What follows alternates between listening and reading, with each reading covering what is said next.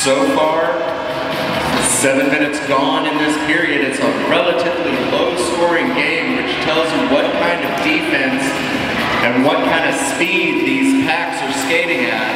As we've got a big collision, Abbey Road going down right in front of us. There's a lot to settle in this game. The Shotgun Sheilas and the Royal Pains last faced off during the 2013